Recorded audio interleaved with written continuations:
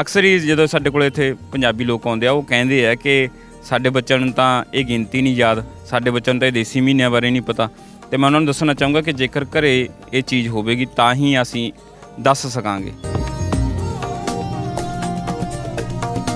ਦੂਆ ਦੂਏ ਵਰਗਾ ਹੈ ਤੇ ਤੀਆ ਤੀਏ ਵਰਗਾ ਸਾਤਾ ਵੀ ਬਿਲਕੁਲ ਉਹੀ ਹੈ, ਤਾਂ ਥੋੜਾ ਜਿਹਾ ਫ਼ਰਕ ਹੈ ਤੇ ਬੱਚੇ ਨੂੰ ਥੋੜਾ ਜਿਹਾ ਧਿਆਨ ਦੇਣ ਦੀ ਲੋੜ ਹੈ ਤੇ ਸਿੱਖ ਸਕਦੇ ਹੈਗੇ। ਤੇ ਇਸ ਦੇ ਨਾਲ ਨਾਲ ਇਹ ਕੋਈ 2022 ਨਹੀਂ, ਕੋਈ 23 ਨਹੀਂ, ਇਹ ਜ਼ਿੰਦਗੀ ਭਰ ਦਾ ਇਹਨੂੰ ਤੁਸੀਂ ਸਾਲਾਵਦੀ ਆਪਣੇ ਘਰ ਦਾ ਸ਼ਿੰਗਾਰ ਬਣਾ ਸਕਦੇ ਹੋ। ਦਫ਼ਤਰਾਂ ਦੇ ਵਿੱਚ ਮੈਂ ਕਹਿੰਦਾ ਹਰੇਕ ਦਫ਼ਤਰ ਦੇ ਵਿੱਚ ਹੋਣਾ ਚਾਹੀਦਾ। ਹੈ।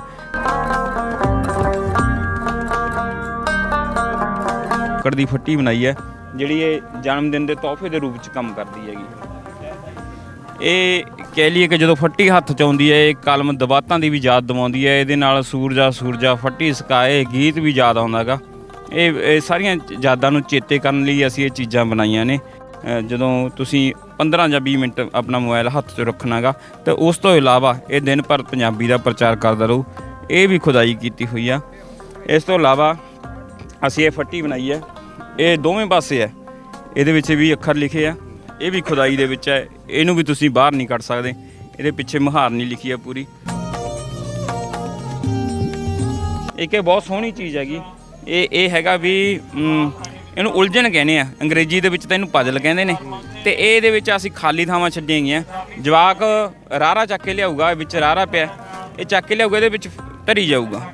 ਊੜਾ ਚੱਕ ਕੇ ਲਿਆਊ, ਇਹਦੇ ਵਿੱਚ ਧਰੀ ਜਾਊਗਾ।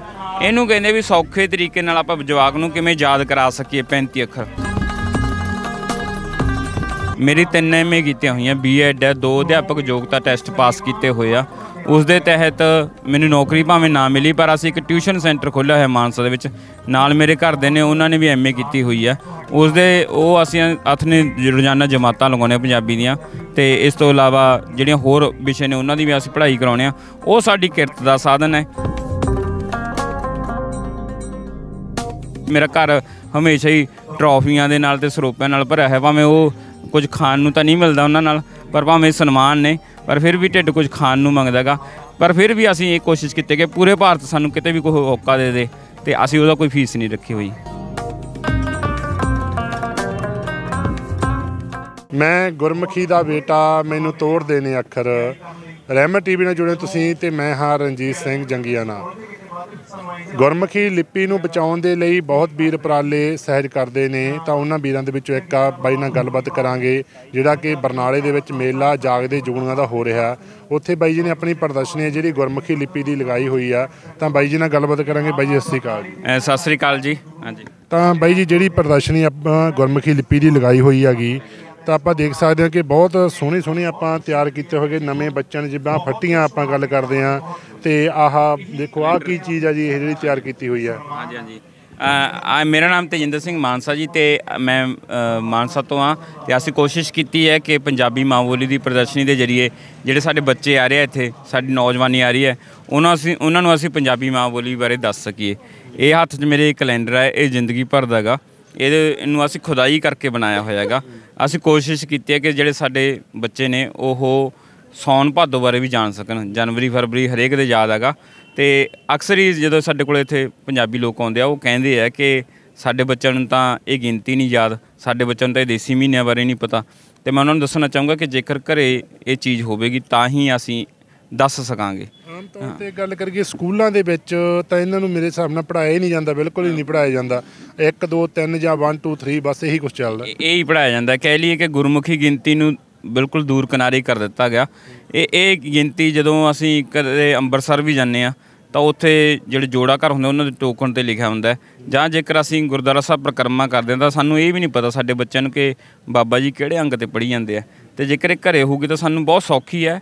ਦੂਆ ਦੂਏ ਵਰਗਾ ਹੈ ਤੇ ਤੀਆ ਤੀਏ ਵਰਗਾ ਸਾਤਾ ਵੀ ਬਿਲਕੁਲ ਉਹੀ ਹੈ, ਤਾਂ ਥੋੜਾ ਜਿਹਾ ਫ਼ਰਕ ਹੈ ਤੇ ਬੱਚੇ ਨੂੰ ਥੋੜਾ ਜਿਹਾ ਧਿਆਨ ਦੇਣ ਦੀ ਲੋੜ ਹੈ ਤੇ ਸਿੱਖ ਸਕਦੇ ਹੈਗੇ। ਤੇ ਇਸ ਦੇ ਨਾਲ ਨਾਲ ਇਹ ਕੋਈ 2022 ਨਹੀਂ, ਕੋਈ 23 ਨਹੀਂ, ਇਹ ਜ਼ਿੰਦਗੀ ਭਰ ਦਾ ਇਹਨੂੰ ਤੁਸੀਂ ਸਾਲਾਵਦੀ ਆਪਣੇ ਘਰ ਦਾ ਸ਼ਿੰਗਾਰ ਬਣਾ ਸਕਦੇ ਹੋ। ਦਫ਼ਤਰਾਂ ਦੇ ਵਿੱਚ ਮੈਂ ਕਹਿੰਦਾ ਹਰੇਕ ਦਫ਼ਤਰ ਦੇ ਵਿੱਚ ਹੋਣਾ ਚਾਹੀਦਾ ਜਿੱਥੇ ਅਸੀਂ ਪੰਜਾਬੀ ਮਾਂ ਬੋਲੀ ਦਾ ਹੋਕਾ ਦਿੰਨੇ ਆ ਕਿ ਪੰਜਾਬੀ ਹਰ ਘਰ ਵਿੱਚ ਹੋਣੀ ਚਾਹੀਦੀ ਹੈ, ਪੰਜਾਬੀ ਹਰੇਕ ਦੁਕਾਨ ਤੇ ਹੋਣੀ ਚਾਹੀਦੀ ਹੈ। ਤਾਂ ਇਹ ਛੋਟਾ ਜਿਹਾ ਜਿਹੜਾ ਤੋਹਫਾ ਗਾ ਉਹ ਹਰੇਕ ਘਰ 'ਚ ਪਹੁੰਚੇ, ਸਾਡੀ ਇਹ ਕੋਸ਼ਿਸ਼ ਹੈਗੀ। ਤੇ ਇਸ ਦੇ ਨਾਲ ਨਾਲ ਅਸੀਂ ਕਿ ਲੱਕੜ ਦੀ ਫੱਟੀ ਬਣਾਈ ਹੈ, ਜਿਹੜੀ ਇਹ ਜਨਮ ਦਿਨ ਦੇ ਤੋਹਫੇ ਦੇ ਰੂਪ 'ਚ ਕੰਮ ਕਰਦੀ ਹੈਗੀ।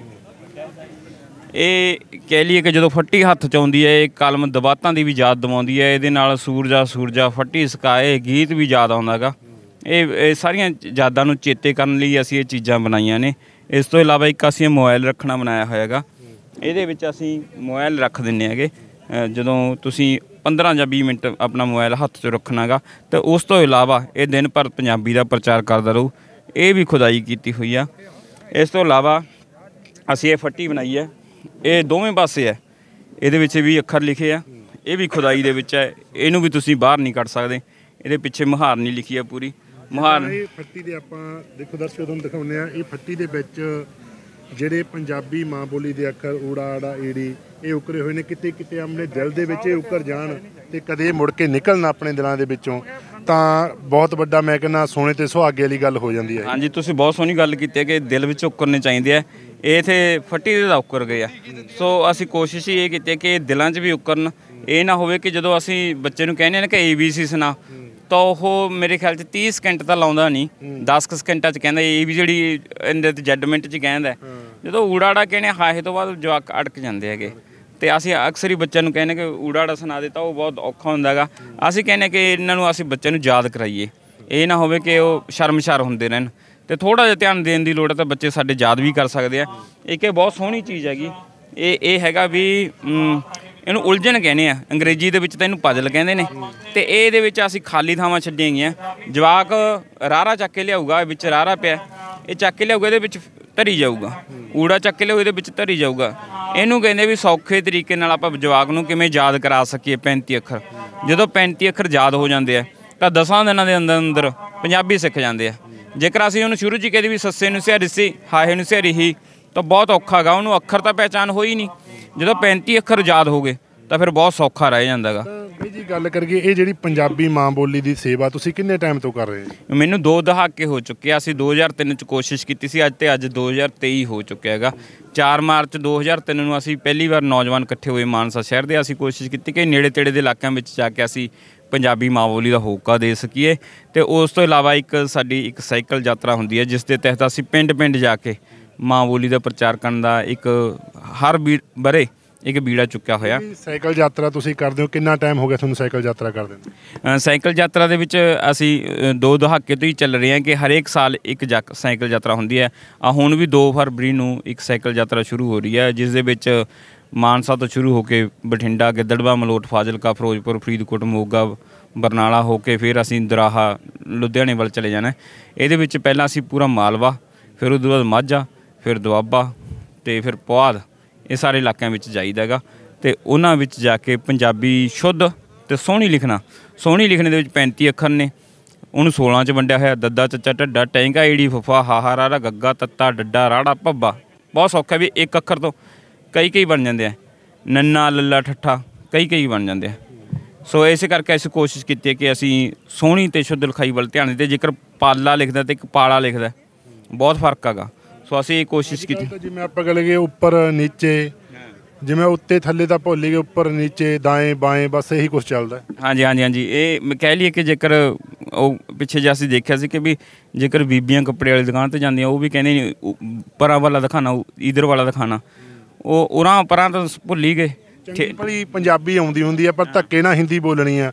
ਇਹ ਜਤਾਉਣਾ ਵੀ ਖਣੀ ਅਸੀਂ ਜ਼ਿਆਦਾ ਪੜ੍ਹੇ ਲਿਖੇ ਆ। ਜ਼ਿਆਦਾ ਪੜ੍ਹੇ ਲਿਖੇ ਆ। ਤੇ ਇੱਥੇ ਇਹੀ ਹੈ ਕਿ ਜਦੋਂ ਕਹਿੰਦੇ ਆ ਨਾ ਕਿ ਵੀ ਬੁਲਬੁਲੇ ਵਿੱਚ ਨਾਲ ਆ ਜਾਂਦਾ ਹੈ ਨਾ ਗਲੀ 'ਚ ਤਾਂ ਅਸੀਂ ਕਹਿੰਦੇ ਕਿ ਬੁਲਬੁਲਾ ਨਹੀਂ ਕਹਿਣਾ ਇਹ ਤਾਂ ਜਾਂ ਤਾਂ ਬੈਲੂਨ ਕਹਿ ਜਾਂ ਗੁਬਾਰਾ ਕਹਿ।